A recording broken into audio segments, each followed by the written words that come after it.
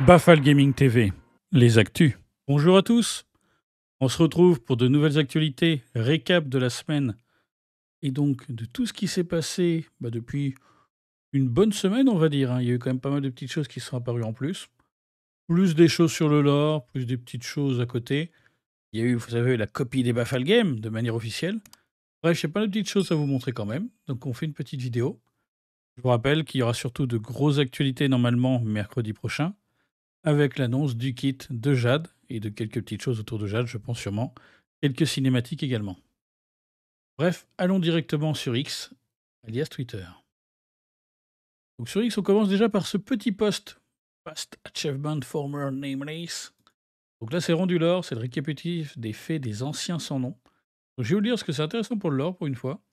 Si on y réfléchit, l'Astral Express peut s'arrêter à tout moment pendant ce voyage. Les sans une mission plus importante pendant un arrêt, il arrive qu'ils décident de quitter l'Express pour mener à bien leurs propres expéditions pionnières. Dans le cas des trois anciens sans nom que vous avez rencontrés à Penacony. C'est le cas. Alors, Mikai Char Legwork. L'horloger, ancien mécanicien de l'Astral Express et magnat légendaire de Penacony, il est l'enfant adoptif de légendaires navigateurs. Un peu plus là. Avec un engouement pour l'aventure depuis son plus jeune âge, il sut démontrer des talents de mécanicien et se faire remarquer par l'Astral Express. C'est ainsi qu'il a commencé son expédition pionnière. Il a aidé Anu à libérer Asdana et a créé lui-même la Terre des Rêves, où il a accueilli d'innombrables chasseurs de rêves. Cet endroit qui était autrefois une prison est devenu Penacony. Dans un message destiné au sans-nom, Mikaï se décrit comme un simple apprenti et vieil homme insignifiant. En réalité, c'est un conteur talentueux. Lorsque Penacony a été de nouveau en danger, il a inventé l'histoire de l'horloger et du festival afin d'attirer d'autres visiteurs et de rendre à nouveau libre sa planète natale, même s'il n'a pas pu voir la fin de son histoire. Razalina Jen Estella. Ex-cartographe de l'Astral Express, une jeune étudiante énergique spécialisée en dynamique des souvenirs. Elle est la fondatrice du Pays des Rêves. Elle est débarquée avec Tiernan et Mikaï à Penacony, où elle a passé de nombreuses années en ermite à faire des recherches au bastion phénérique. Pour finalement devenir la première personne à avoir appliqué la méthodologie de mesure du taux des souvenirs aux voyageurs interstellaires.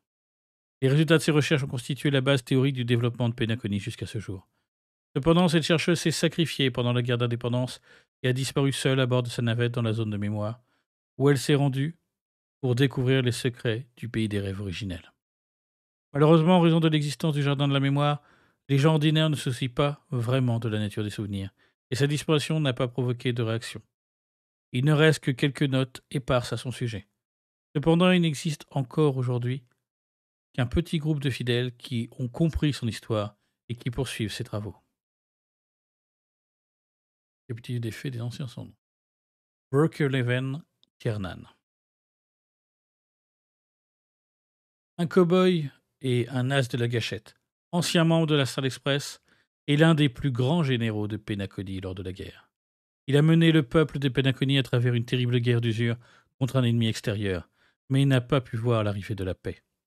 Dans les dix années qui ont suivi la fin de la guerre, Penacony a été tourmenté par des troubles internes et des dangers extérieurs.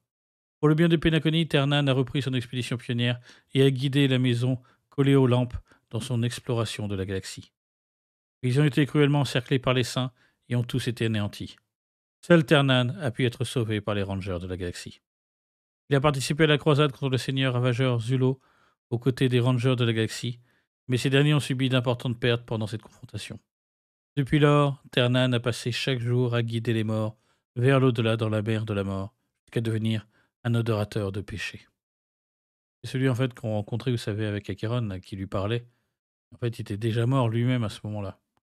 Donc c'est pour ça qu'elle libérait, qu'elle avait dit qu'elle reviendrait à Penacony pour, euh, en gros, ramener son âme en quelque sorte là-bas, quoi, lui rendre le dernier hommage. Et c'est intéressant de découvrir. Ce qui est marrant, c'est que bah, une cartographe, c'est quand même vachement utile, mais surtout un réparateur, un mécanicien. Ils ont quitté le train comme ça.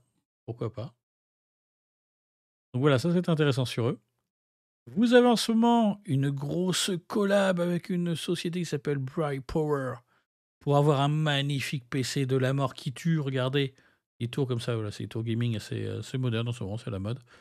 Donc une tour à l'effigie de Silverwolf avec la personnalisation possible des ventilos, vous voyez, des petits trucs. Mais vous avez également le clavier que vous pouvez avoir, le clavier Silverwolf, vous voyez, on voit les touches. Et ce n'est pas tout, il y a également un tapis de souris. Tout ça se retrouve ici, sur ce site-là, vous avez le lien. Voilà, le tapis de souris peut être sympa, par contre, c'est un grand tapis de souris. Clavier quand même assez cher, hein, c'est pas un clavier, je pense pas que ce soit un clavier gamer non plus, quoi. c'est un peu abusé. Euh, la tour, euh, caisse bundle. Ah non, c'est juste la, la box. 300 balles la box, c'est pas forcément cher pour ces box-là. Hein. C'est des box fait exprès. Transparente et tout, c'est moitié transparent. Je vais vous montrer une autre image où on voit beaucoup mieux. Ah bah. Ah voilà, pardon, j'avais glissé. Euh, donc là, on voit la tour. Mais non, non, j'avais une autre image tout à l'heure. Comment ça se fait? Ah voilà, ça glisse tout seul. Vous voyez, on voit un peu la tour. Là, donc on voit que c'est vraiment transparent. On voit les ventilos derrière. On voit là aussi les ventilos. Donc vous voyez, on voit la personnalisation devant. Euh, le logo, là, ils ont mis autre chose. Ils ont mis la, petite console. On voit sa face là. On voit un petit icône là. Donc je trouve c'est assez sympa visuellement, parce que dès que ça soit tout transparent en vert, et les boutons sont là, les trucs USB, tour moderne en fait, parce que c'est vrai que souvent bah, les gamers maintenant, euh, c'est sur le côté, donc autant avoir les boutons sur le côté, c'est pour ça que maintenant c'est un peu dans cette forme-là. C'est une grosse mode qu'il y a depuis quelques temps, c'est un peu plus large, ça permet mieux de circuler l'air. Donc c'est une grosse mode des, PC modernes, et je trouve ça assez sympa qu'il est personnalisé comme ça. Fait peut-être quand même un peu cher la personnalisation, je crois que ça coûte 200 euros environ une, euh, une tour comme ça, mais bon. Ouais, voilà, si on est fan. Euh, vous pouvez tenter de la gagner, justement. Là, il y a un concours pour tenter de la gagner, mais ouais, c'est horrible, donc je n'y crois pas trop. Voilà, c'est ce qu'ils disent après. Mais vous avez d'autres sponsors qui ont été faits également avec des marques de vêtements. il faut aimer porter ça parce que voilà, ça, se, ça se voit. Il y a beaucoup de textes en même temps, ça peut passer déjà un peu plus. Mais voilà, il y a des marques de vêtements également. Vous avez pareil pour Silverwolf. Limite, je trouve un peu plus joli parce que ça fait une grosse image et moins de texte. Parle devant je trouve un peu moins beau, je préfère que le dos, Mais bon, ça peut être joli, mais voilà, faut, faut assumer porter des trucs. Euh, comme je dis, à porter des fringues de jeux vidéo, faut l'assumer. Vous avez également l'annonce bientôt du futur Oyo Fest. Et vous voyez, donc maintenant, il y aura tout. Hein. Il y aura Genshin, il y a le jeu de drague, je ne sais plus comment il s'appelle. Euh, il y a donc Honkai, Honkai Impact, Honkai Star. Et là, c'est notre petit triple Z. Ce qui est marrant, c'est que maintenant, ça devient de plus en plus animaux. il y a lapin, il y a autre lapin. Donc ça, ça va arriver bientôt. Ils nous disent de rester à l'affût sur les réseaux sociaux. Vous avez également ceci, un event Discord. Et donc, quand vous connectez sur le Discord officiel, pardon ici, bah voilà, vous avez un petit event, tout. En fait, vous devez compléter donc le puzzle de l'origami, là, vous savez, les petits osios. Faire le plus gros score et le partager dans un tableau des scores. Ça va être un tirage au sort, hein, dites-vous bien. Sera tiré donc dans quelques temps. Vous voyez, le 4 juillet. Donc, si vous voulez tenter, allez-y. Mais bon, ça peut être. Euh, il du monde, hein, c'est sur le, quand même le Discord officiel. Nous avons également ceci. Là, c'est le petit euh, élément de voyage. Vous savez, rencontre de voyage. Vous écrivez un petit peu les lieux, un petit peu de l'or et tout ça sur les lieux. C'est assez basique, hein, on n'apprend pas grand-chose. Là, je vous inviterai plutôt à aller le regarder, si ça vous intéresse. Et bon, sympa de retrouver en image euh, quelques petites choses. Et ensuite, si on continue, on a eu donc ceci, qui est l'event qu'il y a eu. Donc le Reinit the Divergent Universe. Donc là, tout simplement, vous pouvez revoir le replay qui est disponible, donc 3h39. Là, voyez, j'ai mis une petite image. Truc et tout, avec des fenêtres. Donc c'est ça. On va voir aussi, voilà, quand il y a deux joueurs. Les joueurs game quand même plus, plus clair. on n'a pas les mini portraits, mais c'est un peu plus gros quand même les fenêtres. je trouve que c'est un peu petit. Par contre, il y a des timers, donc Bref, vous pouvez les voir ce que ça donne et vous pourrez me dire si vous trouvez les Waffle Games plus sympas. On a également eu ceci qui a commencé, bah, c'est vendredi de mémoire. Hein. On a fait donc justement nous aussi euh, samedi. Bah, c'est l'event de double de récompense, donc ça c'est cool pour essayer de récupérer bah, les nouveaux stuff, justement. Et après, bah, il nous parle encore de l'Anime Expo qui arrive bientôt, donc avec pas mal de petites choses qui se passent là-bas. Il nous rappelle également qu'il y a une grosse mise à jour des outils, mais c'est à chaque mise à jour de jeu, vous avez une mise à jour de tous les outils, que ce soit les cartes interactives, ce tout, tout, tout. Les fiches de personnages, les calculateurs d'amélioration. Donc allez-y voir, ce sont vraiment bien les outils qu'il nous propose. Il nous informe qu'il arrive bientôt à la Comic Con International de San Diego également, donc des résultats de petits concours. Et ça qui va plaire à pas mal, enfin moi personnellement j'attends de voir le prix.